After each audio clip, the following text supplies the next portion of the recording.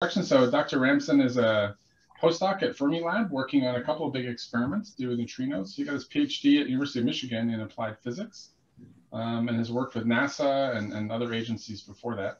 Um, you know, we do, I, my group does some work with Fermilab looking at the, the shielding and activation issues around some of the accelerators there. And so I thought it would be interesting to bring in somebody with a slightly different take from our normal nuclear engineering kind of system, but but still in the nuclear physics realm and related so that we can sort of stretch our minds and hear some interesting new ideas here. So uh, with that, please uh, go ahead. And, and uh, Dr. Ramson said also that he's happy to entertain questions throughout. So if you have a question, you can either throw it in the chat or you can just unmute yourself and, and interrupt, I think is okay with him. So let me bring up the chat if I can do that.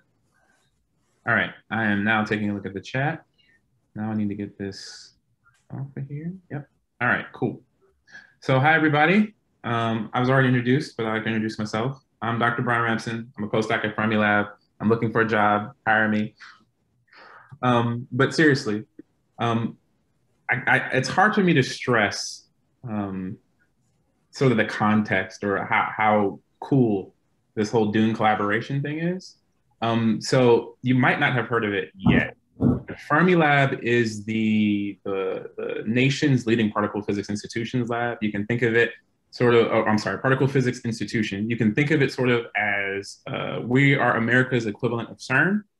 And Dune is going to be the big boy at Fermilab for the next 10 years. It's going to be on the equivalent, it's, it's going to be as, about as big as the LHC.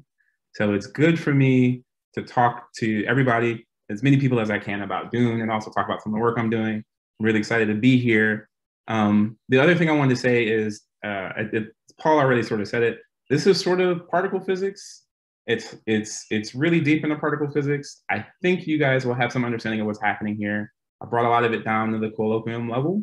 Um, again, if you have any questions or anything you don't understand, please interrupt me. I have no problems taking questions, and I like to have conversations. All right, so with that, let's get started. So I called this talk using the whole buffalo, and the reason I did is because um, Native Americans have this this this uh, sort of rule that when they kill a buffalo, they try to use all the parts of it. And I tried to do some of the same thing with this uh, far detector prototype. I think I'm the only one, or I was the first one to try to use all the subsystems in parallel to do anything. So this should be cool. So first, let's talk about what Dune is. So DUNE stands for the Deep Underground Neutrino Experiment, and it's a future accelerator, accelerator-based multi-detector long baseline neutrino oscillations experiment. That's a mouthful. We'll talk about what all that means. Um, so basically it means you have uh, a, uh, a, particle beam, which will be neutrinos produced at Fermilab. There's gonna be a suite of detectors underground at Fermilab that's gonna do some initial measurements of the beam. And then you're gonna wait to see what happens to that beam and when I say wait, I mean you're going to wait for that beam to travel 1,300 kilometers through the through the Earth and then measure it at another research facility. Uh, the reason we want to do this is because neutrinos oscillate. Uh, they oscillate over space and time. We'll talk about that in a bit. But we hope that um, Dune will measure with greater precision what's known as leptonic CP violation, which colloquially is known as delta CP. Um, we're going to nail down, yes, those dinosaurs are to scale, Katie. Uh, I put this picture in here to make sure that you guys are paying attention. Um, we're gonna measure some of the parameters of neutrino oscillations. I'll talk about what that means. Um, we're also gonna try to nail down the neutrino mass hierarchy, which are part of the oscillations thing. Uh, but outside of oscillations, we're also gonna try to observe or further constrain proton decay. And if we are very lucky, uh, we will observe a the super uh, the core collapse of a star, which is a supernova, and that has that that produces a lot of neutrinos. Okay, so let's back up a bit again and talk about neutrinos in particular. So I think if you are in nuclear physics or you're doing any sort of nuclear uh, interactions, if you're looking at beta decays, uh, positron emissions, which I think are just beta pluses, and I think uh, what is it, some gamma decays, you should see some neutrinos. Um, but for us, uh, well, so the neutrinos would only be producing those interactions. But for us, neutrinos have an, an, entire life, an entire story outside of just you know how they're producing nuclear interactions. So the most important thing uh, about neutrinos is that they're only uh, they only interact using the weak nuclear force. So if you look at this guy on the right, this chart, what you're seeing are uh, the interactions of the uh, mass and force carrier particles that are in the chart on the left. And what you see is that the leptons, you have your neutrinos and your electrons, your muons and your taus, but the leptons only interact using the weak bosons. And that means that they don't interact very much at all, because the only way that you're going to see any, any evidence that they were there is through a nuclear decay. Uh, so this means if you're looking for neutrinos uh, to, to give you some sort of sense of scale, if you were to shoot a neutrino through, I think it's like six light years of lead, uh, you would see one interaction where it would interact only once and it would only interact after going through that on, on average after going through that entire six years or six light years of lead. Uh, it's also true that neutrinos are the lightest elementary particles in a standard model. So right now, the current limits on the mass of a neutrino is about one EV, um, and that's plus or minus 100%. Um, so to give you a comparison, an electron is 511,000 EV. So the lightest particle we can think of, the electron, is 500,000 times heavier than an electron neutrino. And the thing that we care about at Fermilab, the thing that we're measuring, is uh, the third important property, which are that neutrinos are superpositions of hidden mass states. And this means because they're superpositions of hidden mass states, those mass states interact differently uh, with space and time as uh, the wave function uh, evolves. And that means they oscillate. Okay, so let's talk a little bit about oscillations. So if you look at the top, there's a charge current Lagrangian, and this is sort of the where we the starting point where we do all of our particle physics interactions. And what you're looking at on the left side after the, the, the funny LCC is an interaction between a W boson, uh, a lepton of some sort, and a neutrino. And if you look on the right side of that, of that equal sign, what this is actually saying is that when you interact with a neutrino of a particular flavor state, you're in fact interacting with multiple mass states at the same time. And the way you know that you're looking at these multiple mass states is you're looking at this U alpha I. This is sort of what mediates the, the communication between the flavor states and the mass states. So if, uh, if you look at this picture that is um, uh, halfway on the slide, you can think of it as like uh, you produce a source, a neutrino source, or you produce a neutrino of a, of a particular flavor, and depending upon what you put your detector, uh, you can sort of pick the probability of the flavor you want to you want to see. Now that doesn't mean that you'll actually see uh, that flavor, but you have the greatest chance of seeing that flavor oscillation uh, depending upon where you put your detector. And again, this guy is mediated by this U alpha I matrix, and you can sort of think of that. Um, uh, you can sort of conceptualize that as just a rotation between two different bases. So think of it like uh, two x and y, um, two x and y planes that you're trying to translate from one to the other. And uh, the rotation of one with respect to the other can be represented by just an Euler angle. So this is literally just you're changing the rotation of two different bases, and you can represent uh, at least in uh, with with two dimensional flavor and mass states all that with just one Euler angle. If you move that to oscillations in 3D, which is what's actually happening in the standard model, you get this PMNS matrix, which is at the top left of the page. And the PMNS matrix is divisible or decomposable or di diagonalizable into three different matrices, which are all dependent upon neutrinos from a particular source. So of course you have your neutrinos that can, or the neutrinos you can measure from cosmics that interact in the atmosphere. And those are just called at, the atmospheric source. You can, turns out you can actually put neutrino detectors next to nuclear reactors and look at uh, smaller scale oscillations from that. And then there are also particular uh, neutrino uh, signatures that come from the sun that you're able to observe those oscillations as well. And you can represent all of this as you move from a two-dimensional rotations to a three-dimensional rotation. You move from needing one Euler angle to three Euler angles, which is what you're seeing below that PMNS matrix.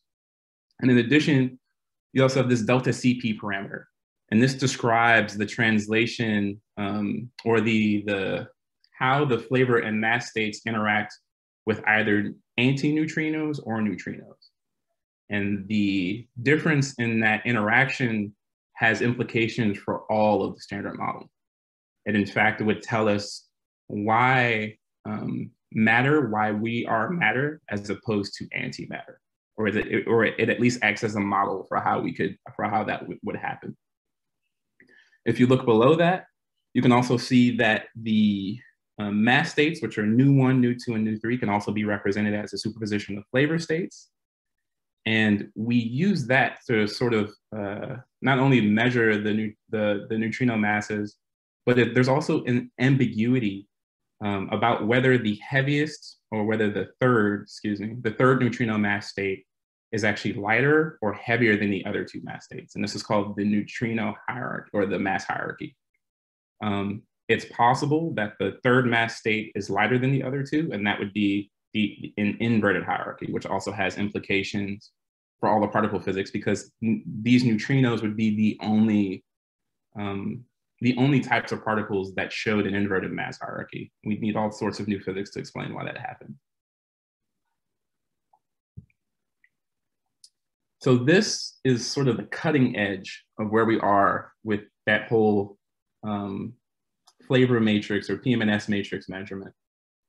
What you're looking at on the y-axis is a measurement of theta 23. And if we go back, that would be the atmospheric um, neutrino sector. It turns out that accelerator-based experiments have access to both the atmospheric neutrino matrix or the angle and the reactor uh, angle.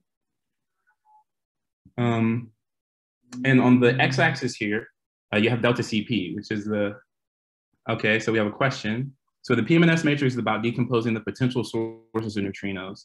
What is interesting because neutrinos from different sources have different properties.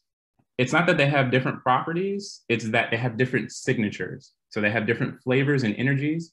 And the, uh, the energy is what decides the length scale at which things oscillate. So you can, you can sort of pick out different uh, elements of that matrix and resolve them if you cleverly pick the sources. That's essentially what we did.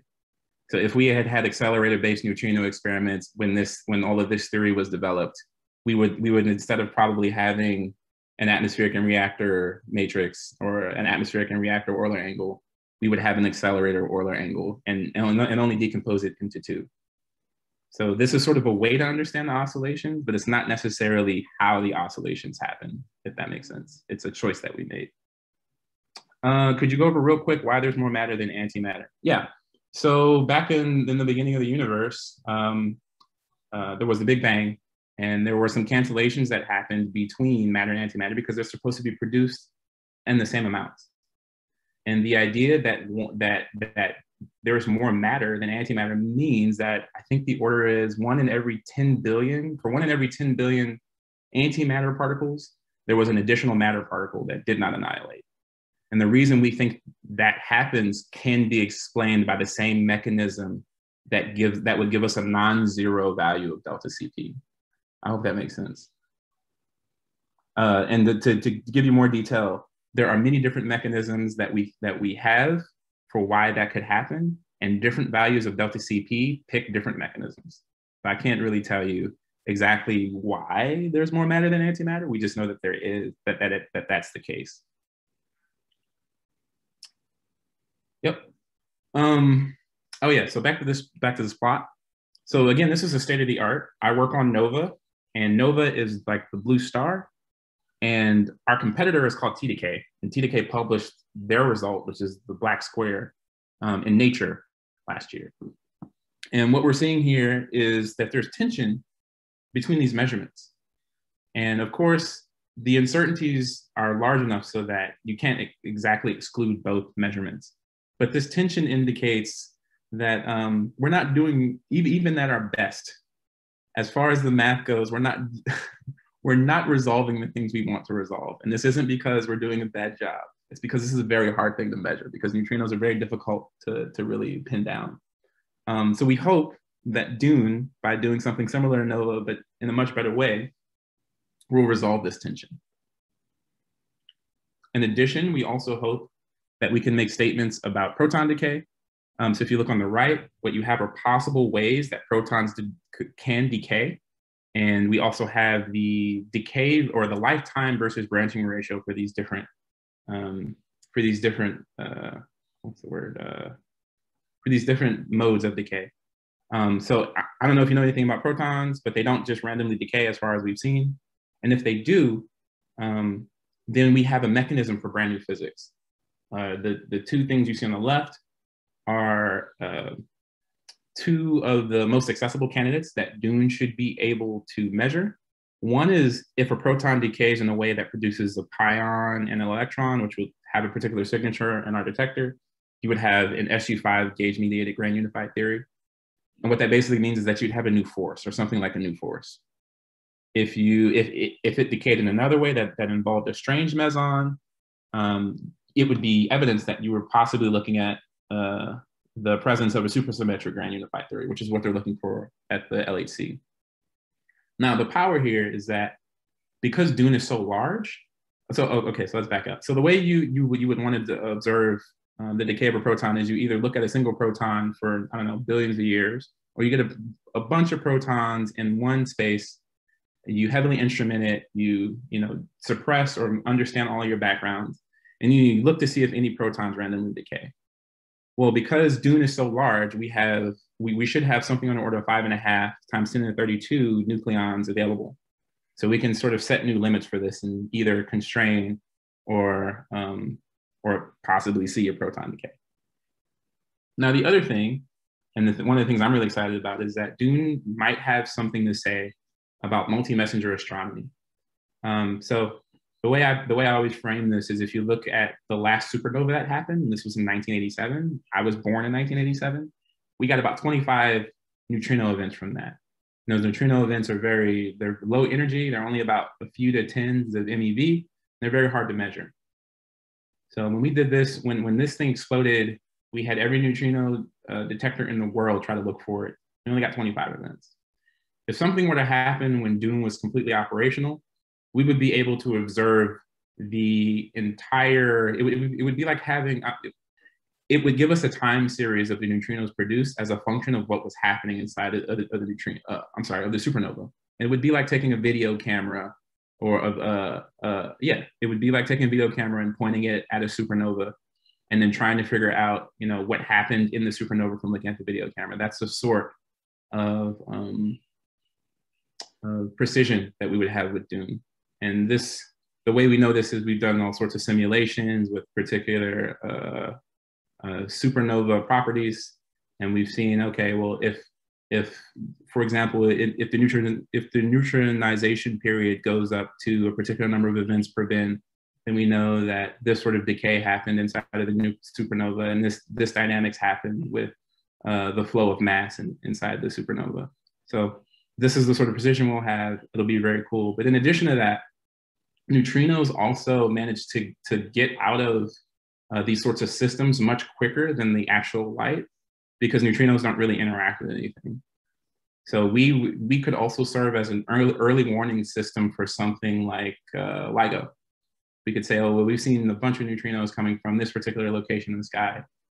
Uh, LIGO should be prepared to see, I don't know, something happening gravitationally, or we can point a, um, a telescope towards that same section of the sky and say, hey, you might, you might be able to observe a supernova.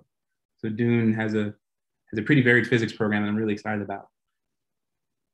So we talked about a bit about what Dune can do. Let's talk a little bit more about what Dune is. Um, so again, it's two, it's two detectors. One's gonna be at Fermilab. One's gonna be at the Sanford Underground Research Facility. And I put two buffalo here. Uh, specifically because one buffalo or uh, one group of buffalo is at Fermilab. We actually have buffalo on site. If you've never been, you should come visit, say hi. But additionally, about an hour away from the Sanford Underground Research Facility in South Dakota, they also have an entire herd of buffalo in a, in a national park. Um, so that's one reason I showed this slide to stick more with the theme. But the other is that I wanted to emphasize that there's a matter effect here that gives us more sensitivity to this neutrino mass hierarchy. And the reason we have this effect um, is because we go pretty deep into the, uh, into the Earth's crust. So it turns out that neutrinos have sort of a resonance with electrons that antineutrinos don't have because there's no anti-electrons hanging out. And that allows us to have better sensitivity to this, this um, mass hierarchy that we were talking about. So the Dune Near detector is going to be, again, at Fermilab. It's going to be 62 meters underground. And it's in fact going to be an entire suite of detectors. You're going to have a gaseous argon near detector, liquid argon near detector, and that's to make sure that when we measure things, that we're able to iron out systematics that come from the liquid argon near detector. Um, then we're also going to have a just a system that's just there to observe, to, to simply count what's coming from the beam. Um, and the idea here is that we want to not only understand neutrino interactions on liquid argon, on argon in general, on the argon atom, but we also want to have a good understanding of the beam flux. Uh, so in other words, the number of neutrinos coming through a particular space or coming through a particular area, and the shape of that flux, which is sort of the distribution and energy of those neutrinos that are coming through a particular area. And this is the big boy. This is the Dune far detector. This is again at the Sanford Underground Research Facility. And it's hard to really communicate how large and like it's gargantuan, right? The first thing is going to be a mile underground. So before you do anything, you have to go literally a mile underground. And then once you get there, you're going to put four modules um, that are 17 kilotons in fiducial volume of liquid argon to give you some sense of scale of how, how large one of these modules would be. Um, the module is 19 meters long, uh, wide, and that's the length of an 18 wheeler.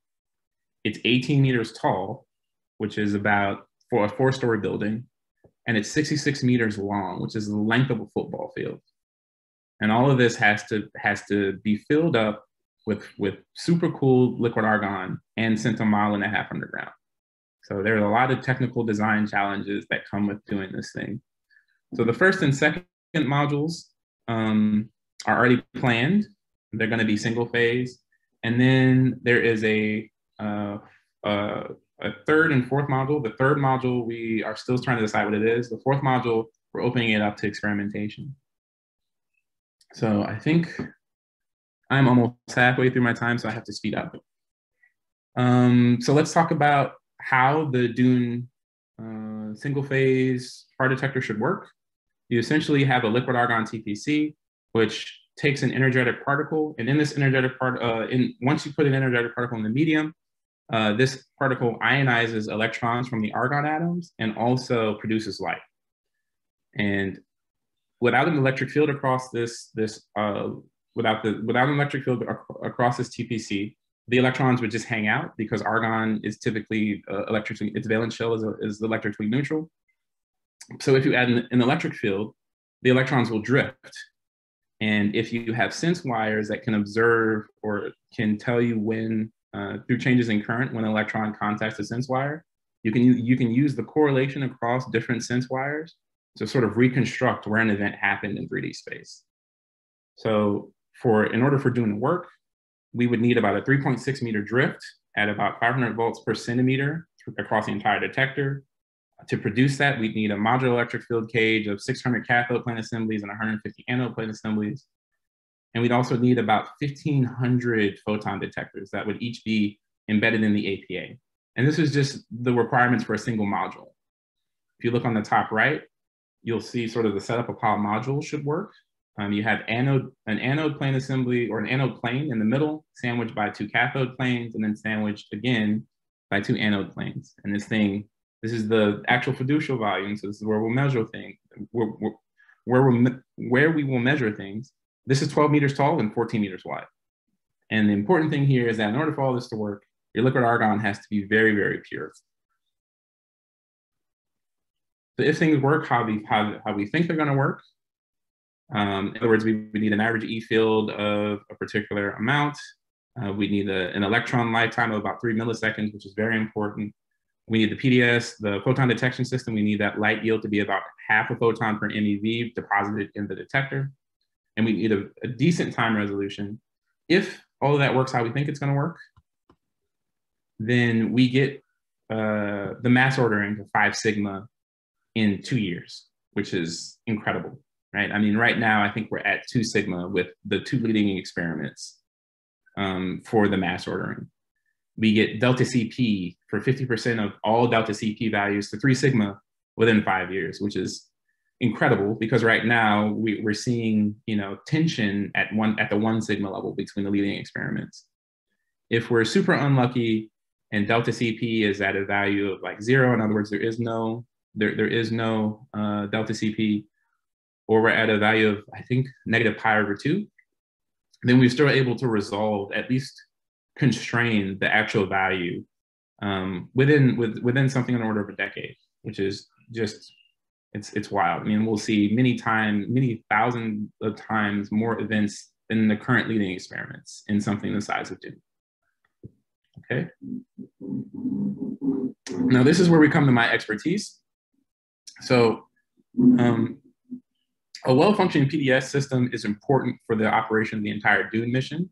The, the first reason is because it is able to improve the resolution of events that are produced by the neutrino beam by a factor of a thousand. So typically the way this works, your accelerator has some time constant or some duty factor, and you time your, you would time your liquid TPC or your, your liquid argon TPC to um, accept events from the beam at the right timing. Um, your, your photon detection system would also give you an additional handle on calorimetry because 50% of the interaction energy in your de detection system is produced in the, uh, in the light or is dumped in the light. And uh, the, the most important thing is that um, in order to do proton decay or supernova burst in any sort of supernova observations, you need a, uh, a functioning photon detection system just for the triggering. Now, the problem is, is that the propagation of the vacuum ultraviolet light in this detector uh, or with liquid argon is just is not well understood right now. And this has been something that's plagued the, the field of, of high precision measurements for the past 30 or 40 years. So we can talk a little bit about how light is produced in the detector. Uh, essentially, you have, again, this charged particle that interacts with an argon atom. And even if you ionize or even if you excite the atom, you always get to an excited dimer. And this excited dimer is produced either through, again, recombination or just because you have an excited argon atom. Um, and the scintillation light is produced when the, when the dimer decays. And this is one of the main reasons, or this is the main reason why um, the the medium is completely transparent to, to the 128 nanometer scintillation. Now, this also means that the light can be produced in a singlet or triplet state, and that has large consequences on what happens with the light. So the majority of light is produced at the 128 nanometer short-lived excimer state, but if it goes through the the triplet state, the lifetime becomes 1.6 um, microseconds. And this gives us basically sort of a fog or a haze inside of, inside of the detector of light that we can associate with, it, with events. Now, also, the light is isotropic and unpolarized, so this is good. And we should get about 40,000 photons per MeV without the electric field or 26,000 photons per MeV with the electric field. So that's how light's produced. This is how light travels. So the main effect we have to worry about is something called Rayleigh scattering, which is the same thing that happens with light from the atmosphere. Um, it's the reason why the sky is blue. Essentially, when light interacts with something that is much smaller on the order of, is it? Yeah, much smaller, or is it the same size? I think it's much smaller. Um, the interaction goes like one over lambda to the fourth. And that means that the shorter wavelengths tend to scatter um, less than the longer wavelengths. Now you can represent the, you can, uh, yeah, you can represent this Rayleigh scattering thing as just a general attenuation.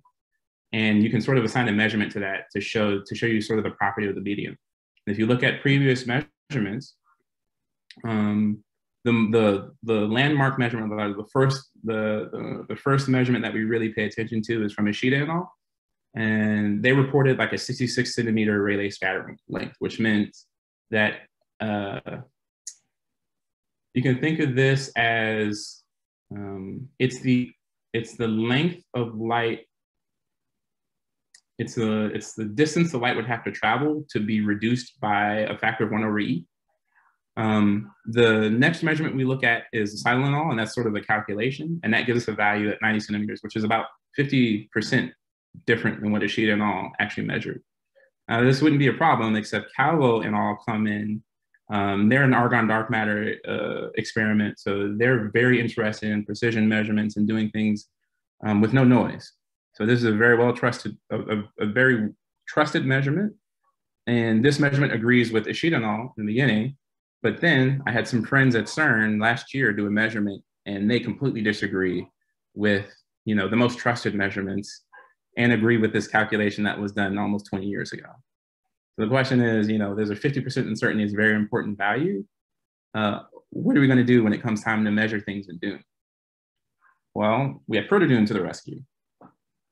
Uh, so ProtoDune is sort of the prototype, it's the test bed of how we think Dune, how we think the Dune far detector is going to work. So it's the same scale, but not the same size as the Dune far detector. So we take all the parts that we would that we would put in the Dune far detector, we we manufacture prototypes of them, and then we put them all in one detector, and we try to do an experiment with it. So the single phase, um, the single phase protodune consists of four important parts, and I'm going to go over each of them because we need all the parts.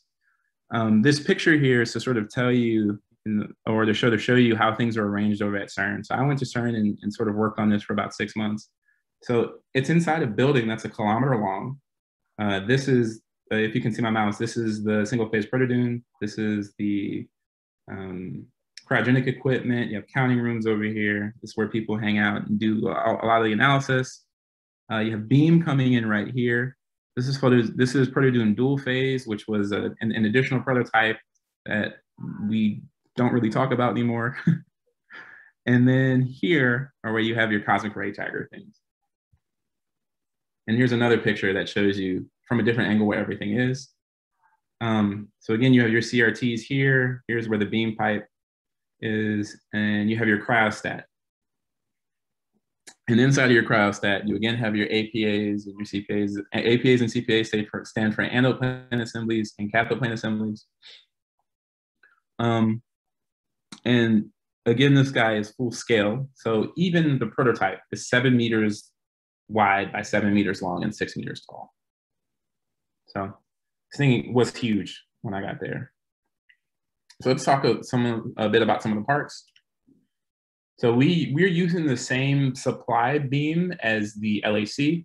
The only difference is we, um, we have it scatter on two different or, or two generations of targets in order to get tunable beam energies. We do that with just the magnets. Um, and then we also have an entire suite of beam measurement software so that, not software, beam measurement instruments so that we can sort of know what we're putting into ProtoDune. Because the idea is we want to see how well we can build a, a detector that's like the Dune far detector. I'm not going to go over these particular parts. What I do want to emphasize is that we know pretty well what's happening here. So we can just from the time of flight and momentum um, pick out what sort of particles we're looking at.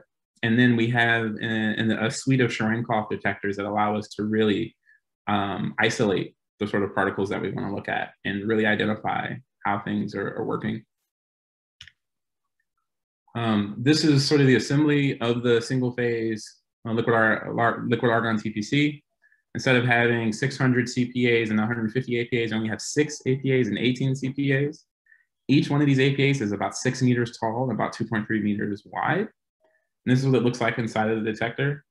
The CPA is on the right, the APA is on the left, and you have a field cage to make sure that your field is uniform even as you approach the edge of the detector. And when we turned everything on, we were nervous.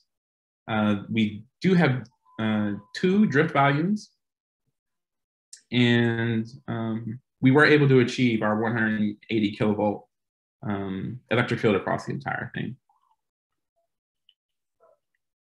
Um, this is an example of how well we were able to um, resolve pro, uh, protons and muons from the experiment. So that means that our, our um, energy loss measurement is, is, is really good. So we're, we're able to tell um, sort of the momentum of the particles by how much energy they throw off as they scatter from the argon atoms.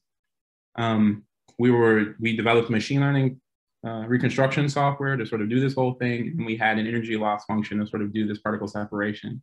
What you're looking at here are, on the left are proton and muon stopping values. So in other words, the protons and muons di didn't have enough energy to make it through the, through the rest of the detector. We were, and we were able to do estimations of their stopping range um, using simulation. And doing all this, uh, we were able to do that on a half microsecond resolution with the liquid argon TPC, which is great. Um, but I really want to stress how good this separation is for something at the energies we're looking at. This is a spectacular operation, even if it's not readily apparent.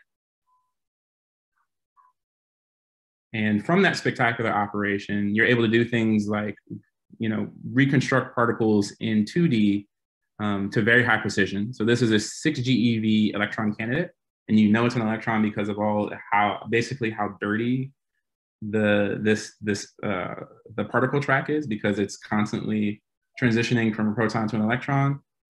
Uh, and then you can also so this is you know our ability to resolve things on a small scale. You can also simultaneously resolve these large events like an entire cosmic ray shower.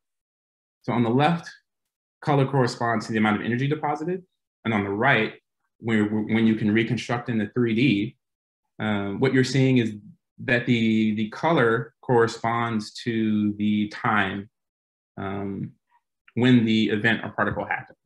And what you can see is you can sort of build an entire story about what happened in this event. So the circle is sort of where the beam comes in.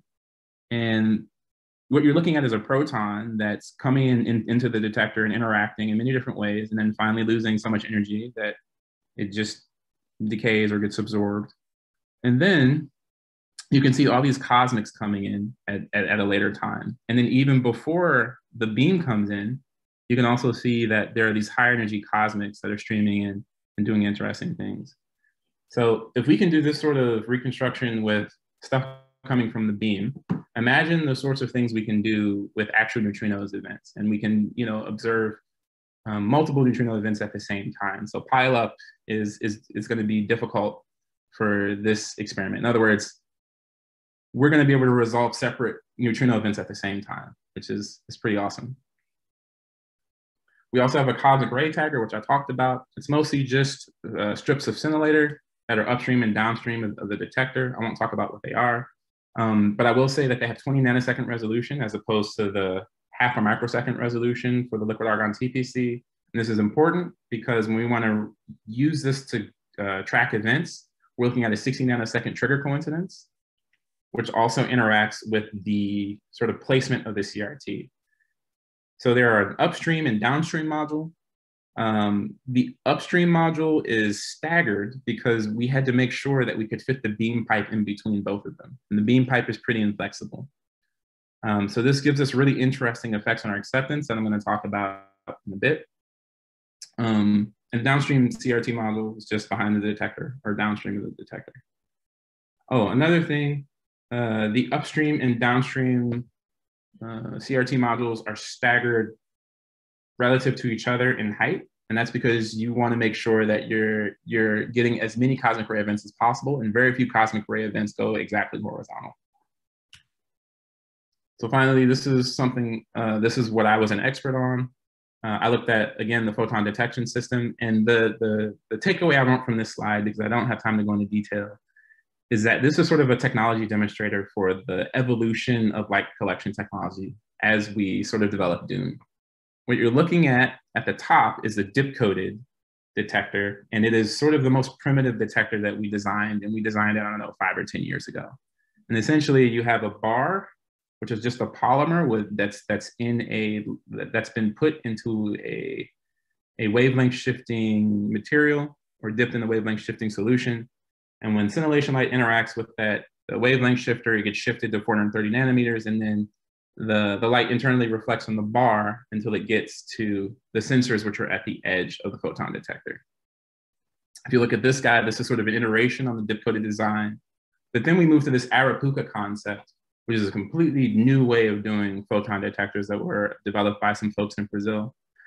And essentially what you have is instead of an entire bar, you have a chamber and this chamber has a window that is that uh, has a dichroic filter sandwiched between two wavelength shifting materials.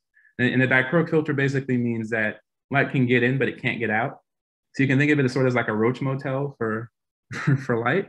Um, so when when when the 128 nanometer light um, go, goes through the dichroic filter, it's then wavelength shifted so that it can't escape, and it it's trapped in an internally reflective chamber until it's absorbed by a SiPM. And this is supposed to increase efficiency over the other designs by I don't know some ridiculous factor. I won't I won't reveal the number until we actually look at the results. But when we put this guy in here, uh, we did not understand how well it was going to work. And to give you some some understanding, only two of these um, existed when we built ProtoDune and we put them in particular locations. The orange one is on the non-beam side, and it was designed, it was placed specifically to observe cosmics. And then you have one, which is this orange one right here, right in front of the beam. And the rest of these guys are the older style of technology. So let's talk a bit about the measurement. So essentially what I did is I used the trigger, which is sort of a way of how it works here, to coordinate uh, CRT triggers with particles that were measured in the TPC, and then I measured the light coming from them. And this was difficult because we had about three months to put together to put together this entire detector and make sure it, it, it worked. So we didn't really have a lot of time to develop this strategy. And not only did I develop it, um, it is now used as like a standard light measuring uh, strategy in all liquid argon detectors that we're using from now on. So this is like how we're going to do measurements in Dune. Um, so the first thing we do is look for through-going muons with a 16 nanosecond coincidence using the upstream and downstream CRT. Then we draw a, a sort of imaginary vector between the center of those CRT pixels. Um, and we compare that to the particle track. And this particle track is, is comes from particles in the TPC that sort of agree with this module.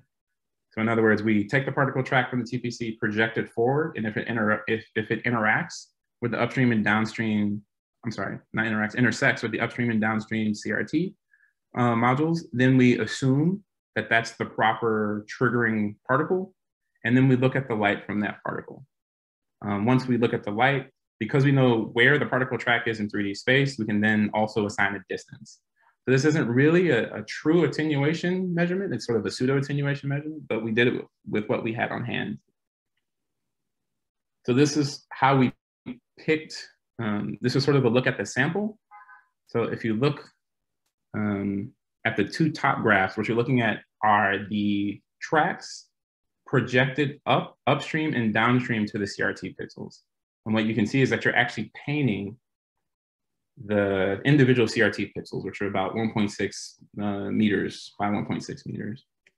I also wanted to show that we put in a quality cut of around 7.5 degrees between the imaginary uh, pixel vector and the actual particle track. And that we basically looked at the comparison using uh, a simple equation, just a dot product. And if the cosine theta of that value was greater than or was less than a certain amount, we, we toss the track. And we got 1.13 million candidate events. And of the 1.13 million with this quality cut, we were able to accept about one out of every 21 or 22 events. So we got 43,000 events to do this analysis. Now, I wanted to emphasize again that we were able to do so well that we were able to resolve, um, or not resolve, we were able to, to really figure out what the effects of this acceptance on the upstream staggering was it turns out that not only is there a particular um, acceptance effect that you can see geometrically, but um, because of the 16 nanosecond coincidence, that's actually not enough time for a particle moving at the speed of light to traverse the entire detector. we were able to resolve that and show that, and we, we changed it later. But for this measurement, we, we, we don't have um, we don't have this measurement on one on one half of the, of the detector, and that would be the beam side. So the thing I wanted to come back to was this, this, this how efficient these, these, this new technology was supposed to be for the light detectors. And what we saw is that the light detect, the new light detectors are at least 10 times as efficient as the other light detectors. Um, so it turns out that one light detector, one Arapuca, one of this new technology could do the job of an entire wall of the other sorts of technologies. And it was it was pretty surprising when we figured this out. we did not expect things to go that well. So this is a, a, look at the data that we got. So again, on the, on the y-axis, is sort of the distance that we've uh, assigned to a sort of measurement of light on the x-axis. So the x-axis isn't exactly a measurement of light. Um, what we've done is we've done a simulation that used the exact same track and looked at the amount of light that would come from the exact same track if we simulated it. And then we divided the actual amount of light we saw by the amount of light we simulated. And we did that event by event. And what we saw is that the data and simulation agreed to within, so that was about one sigma, uh, it agreed to around 19% uh, with a simulated Rayleigh scattering value of 90 centimeters. So that was sort of the development of the technique. So then we were able to compare simulated Rayleigh scattering values. And even though the relative difference between the two simulations were only about 5% as a function of the different Rayleigh scattering values, uh, we were able to resolve that the data agreed more with the 90 centimeter Rayleigh scattering value than the 60 centimeter Rayleigh scattering value. So from now on, all simulation, all things moving forward, we're going to assume that 90 centimeters is about the Rayleigh scattering or the major part of attenuation for light in the scintillation medium. So that is the uh, particulars of sort of the measurement I did. In addition to this measurement, we also achieved almost all of our design goals. Well, not almost, we achieved all of them. Uh, um, for ProtoDune operation, we use ProtoDune to sort of write the Dune far detector TDR, that's the technical design report. So we used our experience from building ProtoDune to basically show that ProtoDune operates so well that we can push the designs of, of the Dune far detector. And when I mean operate so well, I mean we were able to achieve the average E field we wanted. We didn't think we would get that high, but we did. Our electron lifetime was 30 times greater at maximum than what we needed. Um, our electron, uh, our, our, the noise on our electronics was about half of what we thought it would be. Um, the quality of our electronics um, meant that only about 20% of what we thought would fail failed during operation. And we got five times as, I'm sorry, four times as much light as we thought we would and at a resolution that was one fifth of what we thought it would be. So, um, yeah, it was a very successful experiment. And the only reason I was able to do this measurement of light was because um, ProtoDune operated as well as it did. So, yay, go us. and that is about all I have. I think I'm on time. Yeah, that was great. Uh, perfect timing. Um, so we have time for a few questions, uh, if anyone has any, um, while you're all thinking of your questions. Um, so I, I, have one that sort of connects back to the, the maybe to reconnect for us, how does, how will the signals from this detector differ depending on the flavor of neutrino and, and what, what you're, you know, what the oscillation of the neutrino and things like that? Ah, so I'm, I'm sorry, I didn't explain that very well enough. Okay. Well, maybe you did, but maybe I it was at the beginning. So yeah, um, now that we've seen how the detector works, try and connect them back together. Yeah. So the way we get this number is we literally count the number of, or, or the way we get this graph is we we count the number of electron, um, not electrons, of neutrino events we see in the far detector, mm-hmm. and then we we sort of uh, evolve that backwards through the oscillation to the near detector. That's why we need both. Yeah. And literally all we're looking at is the number of neutrinos we see and their energies. And we, our beam, we're able to make it, we're able to sort of change some configurations and make it shoot neutrinos or anti-neutrinos. So we're going to be able to do the same thing with Dune. And the thing we're looking at, our beam produces muon neutrinos which also is why we have access to these two different uh, reactor sections. Well, not reactor sections, uh, matrices, PMN, uh, diagonalizations of the PMNS matrix, uh, matrices. Yeah. Um, so I hope that answers your question. Yeah. Okay. Yeah. Um, I have uh, I have a, I have two questions actually, if you don't mind. Mm-hmm. Um, so I was wondering about the the like particle track charts that you showed sort of in the middle. This is probably like a particle detection 101 question, but will neutrinos actually look like particle tracks on there or will they just be like a big splat of light? Because you mentioned that the liquid argon emits these scintillation light like isotropically. So will you just hmm. get like one big pour out of that, or will it actually like show the direction? So it's both, right? And then that's why the PDS system is is interesting versus the liquid argon TPC system, right? So the liquid argon TPC system actually does give you directions, and what you'll see is a bunch of things coming out of a vertex. So you'll have a point, and then you'll see things sort of exploding from the vertex. And when you see that, you know which way the neutrinos are coming from, so you can sort of kinematically understand um, that it's a neutrino from not only looking at the sort of decay that happened or the sort of interaction that happened, but looking at it at its direction. And then from the PDS, you'll get a corresponding flash. So it, it, it will look like a splat. And the thing is, the, the flash happens quicker than the, the, the creation of the event topology. So if you know exactly when the flash is, you can do interesting things like watch the event happen. Does that make sense? Yeah, yeah, that does. And then I just wanted to ask, um, do you know like what are the what are the most important parts of this experiment that allow you to get the differentiation between the 55 centimeter result that the other group found versus your sort of strong, pretty strong evidence for the the 90 centimeter wavelength? Do I? So you're asking me why I think this experiment preserves uh, prefers 90 centimeters? Yeah. So what what I really think is happening is that in these older experiments, let's see, I do some I talk. Here we go. In these older experiments, I really think what's happening is that they have impurities in their liquid argon that they never measured. So our ability to, to well, not only our ability, but we we really want to make sure that we have super pure liquid argon. And the way we know we have super pure liquid argon is that our electron lifetime is super high. And many of these measurements, I don't think any of these measurements actually did a uh, actually looked at their electron lifetime.